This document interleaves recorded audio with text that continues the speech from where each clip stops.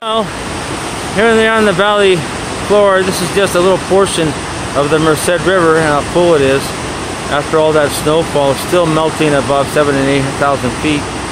Come flying down the valley off these waterfalls. But in any case, this is what the Merced River looks like on a heavy snowfall year. As you can see, it is rushing. There's nobody swimming in the water here. And that water is icy cold. Even though it's about 92 degrees right now on the valley floor, still very cold water because it's, it's running